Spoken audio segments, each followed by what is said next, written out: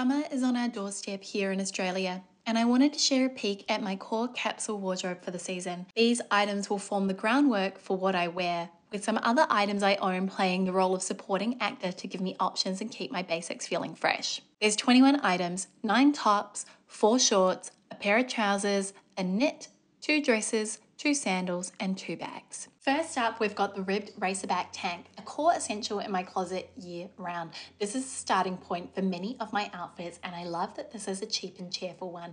It is really nice and soft, and I always feel good when I wear it. I like a tank with a little bit more coverage on the shoulders as well. This one has a slight drop shoulder, which I find to be very flattering. This is a great option, and it's made out of recycled cotton, which is amazing. Also comes in black too. Next, we have this t-shirt. It's organic cotton, and it has a point of difference because it has these slightly statement shoulders, but it's all down to the clever tailoring of this piece. There is not a single shoulder pad in sight. This is in a bit of a parchment hue, so it's not quite white and it adds a little bit of warmth to my outfits. I've been adding a little bit more color into my wardrobe, and of course, that had to be reflected in my summer capsule too.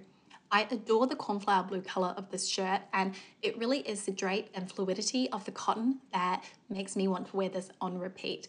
It is so comfortable, lightweight and breezy and of course I adore the oversized fit. This next shirt has a little bit of a silky quality to it, which is down to the fact that it's made with tencel. I like that it's ever so slightly sheer and it feels a little bit more dressed up. One of those great basics to take you from work to weekend. This rib tank was on my Black Friday wishlist this year, and of course, I snapped it up and I am already obsessed. I really like the grey green hue. I think it is really nice and earthy and natural, and the actual silhouette itself is very, very classic. I wear this one with a strapless bra and I find that that's a great pairing. This is one of my other favorite camisoles in my closet right now.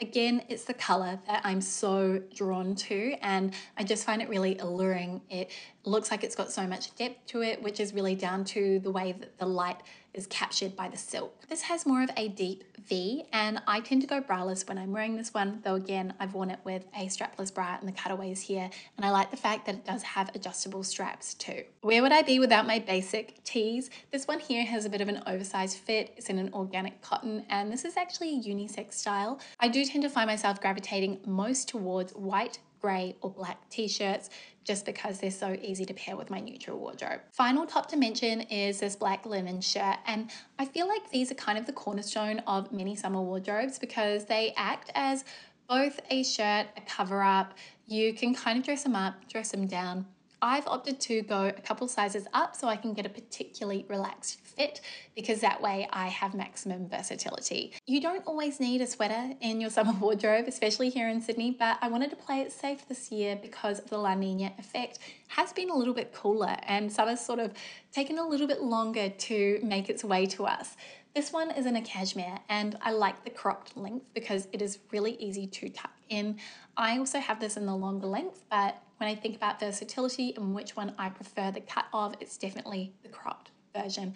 This is very, very lush and it feels like such a special piece. I will link a more affordable alternative down below. Every year I seem to have a dress from Marl on repeat as part of my summer wardrobe and this year's rendition has this beautiful subtle gingham check to it. It also has pockets.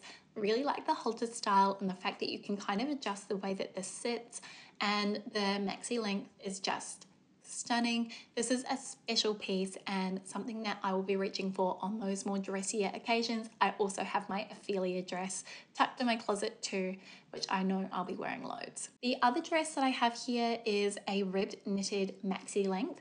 Again, I'm really liking those longer, leaner silhouettes right now. This one I'm wearing back to front here in the cutaways, so you can actually wear it with a deep V in the front, but I just find it a little bit revealing. Also looks great layered with either a tank underneath or with a knit over top. So this is one that I sort of anticipate myself wearing well into autumn as well. It really wasn't hard for me to pick out my favorite trousers, these black linen ones. Love the high waist, love the relaxed fit through the leg and the fact that they graze the floor ever so slightly. These have just been something I wear all the time and they're breathable too. I don't know why I wasn't wearing trousers during the summer sooner. These beige denim shorts were more of a recent addition to my closet and I really like the colour. The A-line silhouette is something that I typically go for because it is universally flattering and I love the wide leg opening. The denim on these is so soft and this particular style actually comes in multiple different colors. We of course also have my Everlane denim shorts and I've got two pairs here as part of my summer capsule, starting with the green. These ones I purchased on sale and so glad I added them to my closet because I've already worn them so, so much. They're actually a lot more versatile than I was anticipating. I've also included the black pair in my capsule. These I have one size up, so they're a little bit slouchier and a little bit wider through the leg. I've taken these traveling with me. They wash and wear well, and I just find them to be such a favorite. The denim on these Everlane ones is a thicker, more structured denim than the previous pair I shared. Final shorts are this tailored pair, which I've had for about 18 months now. I love the high waist, and again, the fact that these actually have a longer length through the leg this is something that I'm finding myself gravitating towards more. I want something that is a little bit more modest and that isn't too revealing. These have a D-ring belt. My only gripe with these is that they have a side zip closure, which I find a little bit awkward to do up. Two pairs of sandals, two sides of the same coin, starting with my black YSL tribute slides. I've worn these for the past three summers and will continue to wear them until they are no longer wearable. I love them, though I will admit they aren't the most comfortable if you're walking huge distances. This is coming from someone with wide feet. I did size up a full size. This next pair is actually an affordable dupe for the YSL ones and they do come in a few different colors. I have the tan here and the leather on them is really nice and soft. They're super duper comfortable and they're just a good easy style to slip on. I like that they add a little bit of warmth with that caramel hue to my outfits. Summer wardrobe wouldn't be complete without a straw bag and I've been using this quite a lot recently. It's a very expensive version of what it is, so I would recommend shopping around to find something that suits your budget, but I do love the white leather contrast. Finally, a crossbody bag. I've opted to include my croissant bag here. I really like the supple leather, although I will admit that I wish it had an interior pocket. It's not necessarily my favorite bag, but I do find it a good option to have. It's very easy to throw on and go, especially with the two kids. So that's a peek into my summer capsule wardrobe. Over on my Instagram, you'll be able to see how I style all these items. And if you would like to see some of the different ways that I wear these pieces with other items in my closet, let me know in the comment section below. Thank you so much for watching. Hope you're having a beautiful week and I'll see you very soon with my next video. Bye.